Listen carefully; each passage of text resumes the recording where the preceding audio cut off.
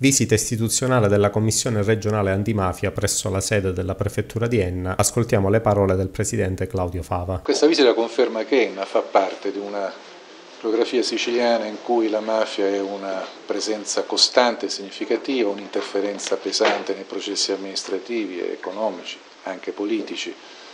Eh, la presenza di Raffaele Bevilacqua il suo ritorno a parziale libertà, arresti domiciliari per due anni, ha determinato movimenti significativi.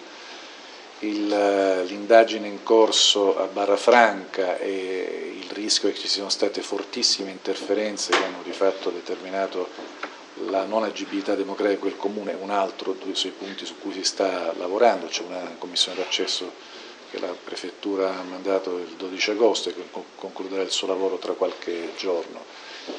L'altro punto significativo è che questa resta una terra di saccheggio dei fondi comunitari, di risorse cioè sottratte all'economia legale, sottratte alla possibilità di essere un sostegno ad investimenti, a un recupero di forza dell'economia agricola e invece diventa l'oggetto, il bottino di guerra di alcune famiglie che utilizzando complicità professionali che vanno da false certificazioni a rogiti fasulli a finta intestazione di terreno ha drenato nel corso degli anni decine e decine di milioni di euro. Sul rapporto dell'ispettore in merito ai concorsi del comune di Enna e sulla vicenda ASP. Il rapporto in questo momento è segretato, sarà, grazie, sarà disponibile tra qualche giorno e verrà anche acquisito dalla Commissione antimafia, si aspetta di contestarlo e quindi raccogliere controdeduzioni.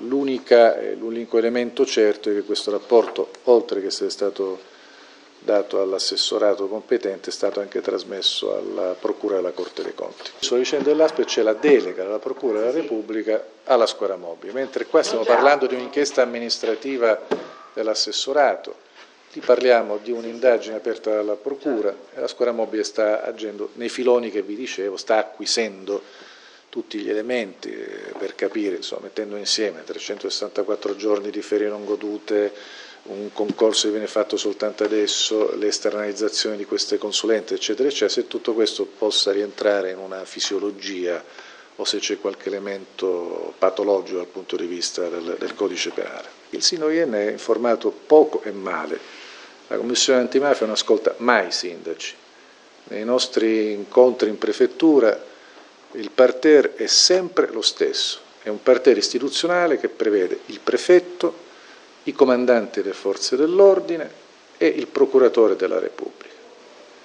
Punto 1. Punto 2.